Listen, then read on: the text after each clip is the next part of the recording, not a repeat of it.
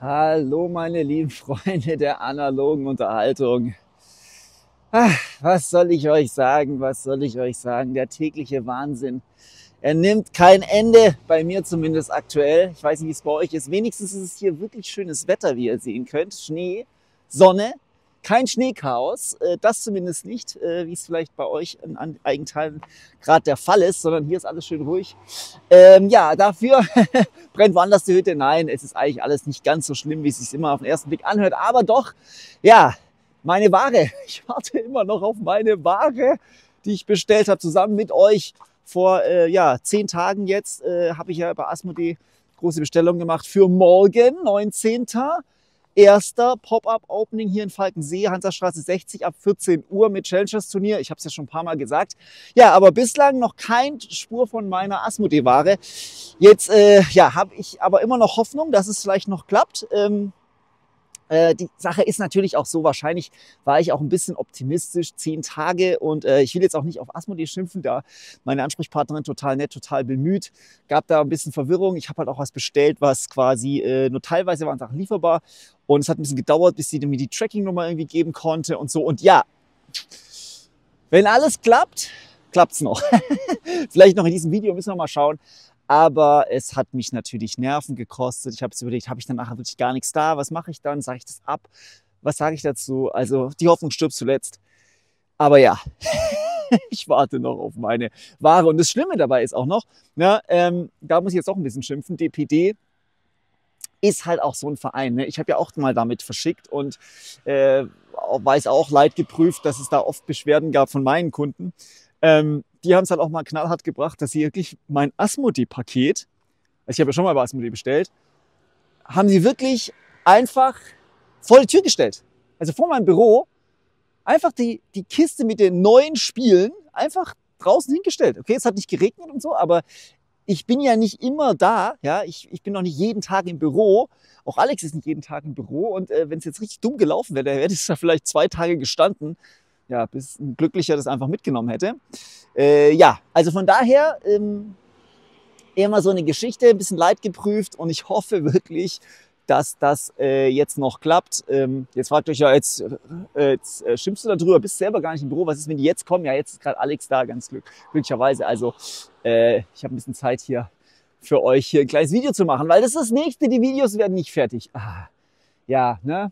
Irgendwie ist ein bisschen der Wurm drin am Anfang des Jahres jetzt. Ich war viel weg, äh, war auch schön. Ich war auch im Urlaub, war auch schön.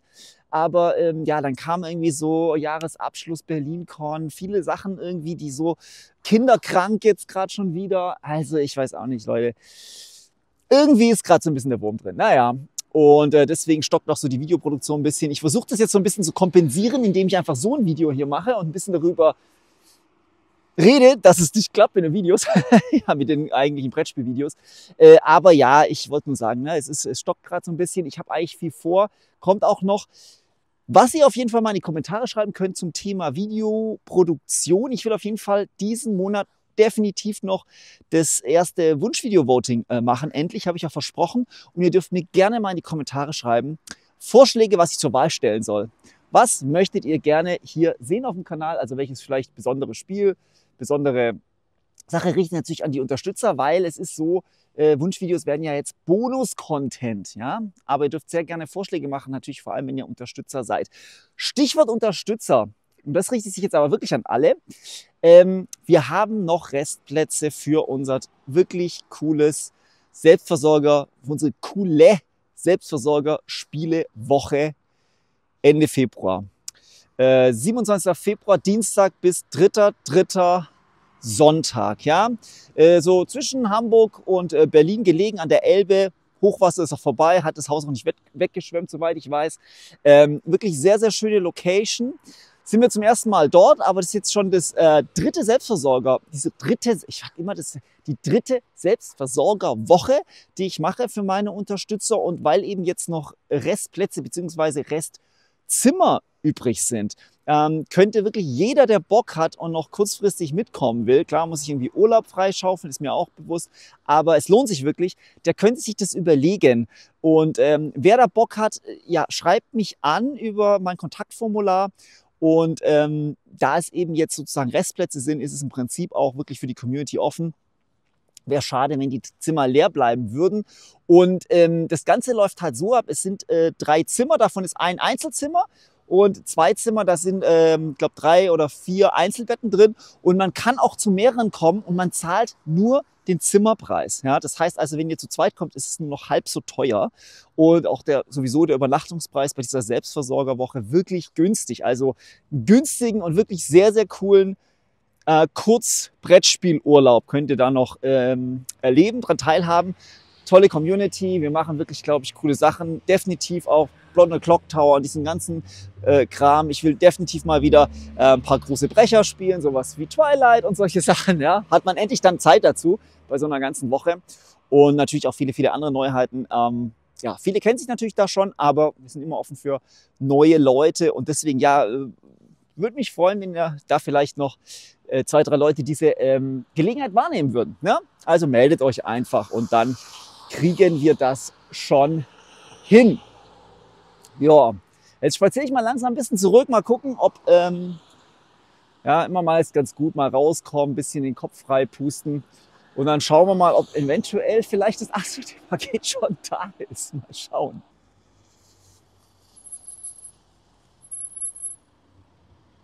Ganz ehrlich, ich habe gerade das Gefühl gehabt, das war DPD. die hatten rote Jacken an. Die fahren in die falsche Richtung. Oder sie kommen gerade von mir. Mal gucken, mal gucken, ob Asmodee da ist und dann packen wir es gemeinsam aus und dann wird's noch was mit dem Opening morgen.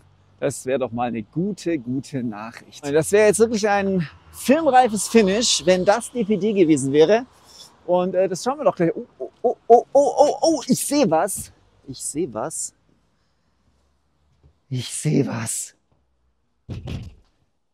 Das sieht doch nach DPD und Asmodee aus. Eieiei, sehr schön. Das werden wir gleich mal auspacken. Aber zuvor habe ich noch was anderes für euch, weil man muss natürlich bei dieser ganzen Jammerei auch immer bedenken, es gibt doch auch Lichtblicke. Und ein Lichtblick, den habe ich mir hier nämlich noch extra hingelegt für euch, wollte ich nämlich noch kurz zeigen, ist der hier. Imperium Horizons, ja, wurde mir zugeschickt, Osprey Games, hier ähm, ja von Nigel Buckley, David Tucci kennt man natürlich, das neue Imperium. Und äh, Imperium kennt ihr hoffentlich, ne? Imperium Classic, Imperium Legends, dieser wirklich sehr thematische, aber auch ein bisschen komplizierte und äh, heftige Deckbilder. Und jetzt eben äh, Horizons und wir können ja mal reingucken. Ähm, zunächst mal ein neues Schachtelformat, muss ich aber sagen, finde ich richtig cool, weil ähm, das alte hatte das Riesenproblem, dass diese Karten ständig rausgefallen sind, weil man, ne, jetzt hat man hier so einen schönen Plastikcover. Das ist richtig cool, weil dadurch, also außer man schüttelt es wirklich, ähm, gehen nicht immer die Karten komplett, diese Ordnung komplett flöten, was äh, ja super nervig war bei den alten Imperium Classic äh, und Legends Schachteln. Ansonsten ist es ein komplettes Standalone ähm, Game und Erweiterung in einem. Äh, was bedeutet das? Zunächst mal ist es so, das sind halt einfach richtig viele neue Zivilisationen. Also ja, alle möglichen, das zeige ich euch gleich noch ein bisschen im Detail. Außerdem gibt's äh, Update-Karten. Das sind die hier, die habe ich tatsächlich noch nicht reingemischt, hatte ich noch nicht die Zeit. Das sind einfach Karten, die könnt ihr in die alten Grundspiele reinmischen und die alten ersetzen. Das heißt, das ist ja, da wird da wurde einfach gerebalanced und ein bisschen verbessert und so weiter. Und ähm, ja, das ist halt äh, ziemlich cool, weil ihr könnt halt äh, eure alten Zivilisationen hier mit den neuen Commons-Karten. Es gibt eben ein komplett neues Deck hier von äh, Regionen und Uncivilized und Civilized und ähm, so Tributkarten. Also wer das Spiel kennt, weiß, es gibt eben, man hat eben seine Nationen, äh, seine Nationenkarten und es gibt eben so einen allgemeinen Marktplatz quasi. Die sind hier komplett neu und ähm, man kann das einfach mischen, man kann quasi alten Zivilisationen damit spielen und umgekehrt. Das geht alles. Außerdem gibt es noch eine Erweiterung. Ähm, das ist das hier. Das sind die, ist die Trade Route Erweiterung. Das sind diese Karten hier. Das ist eine neue Farbe auch. Könnt ihr hier oben sehen und hier auch so ein neues Symbol. Und äh, das ist einfach ein Modul. Also Erweiterung ist vielleicht das falsche Wort. Es ist ein Modul, das ihr spielen könnt. Und was macht das Modul? Das ähm, sorgt dafür, dass er jetzt nicht mehr so aggressiv spielt, weil wenn ihr mit diesem Modul spielt, dann sortiert ihr alle Karten aus, die äh, eure Gegner bislang immer angegriffen haben. Das war oben so ein kleines, so ein kleines Schwertsymbol, da mussten die Gegner, was weiß ich, äh, Länder ablegen oder äh, Un Unruhe nehmen oder irgendwie sowas. Ähm, das gibt's dann in diesem Fall hier nicht, sondern es geht dann mehr so um Handelsgeschichten. Ähm, da spielt eine neue Ressource eine wichtige Rolle. Das sieht man hier. Ich weiß nicht, kann man es sehen? Genau, das sind diese Handelswaren. Und ähm, es gibt einen neuen Effekt, der heißt Profit. Und man sammelt quasi diese Handelswaren an. Und wenn man dann drei hat, dann kann man so einen Profit-Effekt zum Beispiel hier auslösen und äh, dann einen krassen Effekt nutzen. Zum Beispiel hier Anycard äh, suchen, Feind, ne? Anycard ist ziemlich starker Effekt in dem Spiel. Also, ähm, wer sich immer ein bisschen geärgert hat oder das nicht so toll fand mit den Angriffskarten im Grundspiel, der kann hier sozusagen dann einfach ein bisschen friedlicher äh, Handelssachen ähm, spielen. Es gibt auch bestimmte ähm, bestimmte Nationen, das muss ich mal kurz gucken, ob ich da einen finde. Hier die da zum Beispiel, die dann wirklich auch mit dem Modul nur funktionieren. Das kann man hier auch sehen mit diesem Symbol hier und auch hier, ne? Ähm, äh, so die, die Wakadu, die sind so eine Nation, die so ganz krasse Goldminen hatten, aber sonst praktisch nichts zu essen. Das heißt, die müssen ihr Gold natürlich gegen andere Waren äh, eintauschen. Da ist eine Handelsroute total wichtig. Und äh, deshalb gibt es eben spezielle Nationen jetzt, die sozusagen ähm, nur mit den Handelsrouten auch funktionieren. Das ist auf jeden Fall auch ganz cool. Und äh, was gibt es noch? Ja, es gibt halt wirklich wieder, wie immer, sehr coole neue ähm, Zivilisationen. Zwei möchte ich euch vor allem mal zeigen. Jetzt muss mal gucken, ob ich die finde. Ja, genau. Äh, drei eigentlich sind richtig, richtig cool. Genau, die da, also richtig cool in dem Sinn, dass sie besonders sind und dass sie wirklich sehr interessant sind. Ähm, hier die Inuit, ja, also diese Eskimos sozusagen. Die sind deswegen so krass, weil äh, normalerweise ist es ja bei Imperium so, dass wir als Barbaren starten und irgendwann Imperium werden. Bei den Inuit ist es so, dass es gibt nicht äh, Barbaren und Inuit, also es gibt Barbaren und, und das sind diese zwei Symbole hier, ne? Barbaren-Symbol und Imperium-Symbol. Wenn du ein Barbaren bist, kannst du nur das spielen. Wenn du Imperium bist, kannst du nur das spielen. Und bei den Inuit ist es so, da wechselt in jeder Runde Sommer und Winter. Und im Winter sind wir sozusagen Barbaren, da können wir nur diese Karten spielen. Und im Sommer können wir nur diese Karten spielen. Und das ist natürlich richtig krass. Das heißt also, muss mal gucken, wo die State-Karte ist, glaube ich, ganz hinten, genau hier. Ne? Das heißt, wir haben eben Sommerkarte und in der nächsten Runde, wenn wir eine Runde gemacht haben, einen Zug, dann drehen wir es um, ist wieder Winter und so weiter. Und das Krasse ist halt, im Winter haben wir auch weniger Handkarten, können also weniger Sachen machen als im Sommer. Ja, also das ist schon echt ganz cool, finde ich. Also sehr thematisch auch wie immer ähm, cool gemacht. Was gibt es noch? Ja, hier, das wollte ich euch auch zeigen hier. Die Marsianer können wir jetzt spielen. Das heißt, wir es ist schon geil. Wir landen einfach und ähm, sind jetzt sozusagen auf der Erde gelandet. Und bei denen ist es so, das seht ihr hier, bei Setup kriegen die einfach 25 Siegpunkte. Ja, und das ist wirklich völlig verrückt. Ähm, man muss aber gucken, äh, wir müssen aufpassen, dass wir sozusagen nicht hier, äh, hier, ähm, dass, dass sozusagen unser Reaktor hier nicht in die Luft fliegt. Und was aber tatsächlich ganz grob gesagt die Hauptfrage jetzt ist, ob wir, wir starten schon als Imperium, ob wir Imperium bleiben wollen oder ob wir uns anpassen wollen und dann einfach zurückentwickeln zu so barbarischen Erdlingen, um es mal blöd zu sagen. Ich muss kurz gucken, ob ich das auf die Schnelle finde. Ja, ich glaube, das ist auch ganz hinten. Genau, ne? Wir sind quasi am Anfang sind wir Aliens. Also wir starten als Imperium und wir können uns entscheiden, einfach uns, ne, Go Native zurückzuentwickeln zu äh, einheimischen Erdlingen. Und äh, dann können wir tatsächlich auch wieder diese Karten hier spielen, die wir am Anfang halt nicht spielen können. Und äh, ne, hier dann so Rituale der Erdlinge übernehmen und so, ne? Oder einfach hier zum Alien Overlord werden. Das ist schon echt ganz cool. Oder wir entscheiden uns halt doch lieber, bleiben lieber sozusagen ähm, die Aliens, die wir sind. Und ähm, genau, ne? Machen lieber die Erdlinge hier ein bisschen klüger. Ne? Statt uns zurückzuentwickeln, machen wir lieber hier Share All Secrets, machen wir lieber die Erdlinge ein bisschen klüger. Also auch wirklich ein sehr, sehr witziges äh, Konzept, muss ich sagen. Und das letzte, das ist, finde ich, fast das Geilste, ist das hier. Ähm, Kultisten, ja, Cthulhu, mein Lieblingsthema oder eins meiner Lieblingsthemen überhaupt ähm, bei äh, Brettspielen. Und was passiert hier? Naja, ähm, wir sind eben Cthulhu. Äh, Kultisten und wollen selbstverständlich, dass die Welt untergeht, beziehungsweise das Portal öffnen. Und da müssen wir halt anfangen, hier erstmal die Zeremonie zu researchen. Und dann können wir uns halt immer weiter vorbereiten. Dann gehen wir irgendwann über in Prepare the Ceremony. Dann gibt's Ceremony Gathering, ja. Und äh, das bedeutet, dass wir halt auch unsere State Card dann flippen. Ja, und äh, Ceremony of the Key. Also das heißt, wir gehen da immer weiter und haben dann noch mehrere, noch, ne, wir haben nicht nur Barbar und Imperium, sondern wir haben auch noch diese beiden Symbole, ähm, die dann ins Spiel kommen können, wenn wir sozusagen dem, dem Untergang oder dem Öffnen des Portals näher kommen. Und das sieht man hier, wir können dann sozusagen so zum Corrupted State werden und irgendwann mal, zack, haben wir dann Cthulhu auch wirklich äh, beschwört. Ne? Und dann äh, kann es sein, dass wir sofort gewinnen, weil wir haben noch spezielle Unrest-Karten, die nennen sich Chaos. Die können wir den anderen Spielern vor allem unterjubeln. Und man sieht es hier, ne, wenn wir es schaffen, ähm, dass der Collapse getriggert wird und ähm, dieser Stapel hier, der Chaos-Stapel leer ist, also dass das alles verteilt wurde, dann gewinnen wir automatisch. Das ist schon echt äh, ziemlich geil, muss ich sagen. Ne? Also ja, das Spiel ist wirklich cool. Es ist nicht einfach. Ne? Also wenn, lasst euch nicht täuschen hier von diesen äh, coolen ähm, thematischen Geschichten. Das Spiel selber ist abstrakt, ist auch ähm, ja verwaltungsintensiv. Ähm, ist auch wirklich auch was für Solospieler, muss man ganz klar sagen, die sich da durchwühlen. Es gibt einen coolen Bot, äh, David Tucci natürlich da auch der Experte und äh, man kann wirklich auch quasi der Bot arbeitet auch anders. Du hast für jeden Zivilisation auch einen entsprechenden Bot, sodass du quasi überlegen kannst, okay, du spielst jetzt Kultisten gegen Marsianer zum Beispiel, ne, oder sowas. Und äh, das ist natürlich unendliche Möglichkeiten und für Leute, die vielerlei spielen, die Hardcore-Deckbuilding mögen, strategischen Deckbuilding und sich diese Thema, das Thema ähm, cool finden, muss ich sagen, immer noch ein tolles Ding.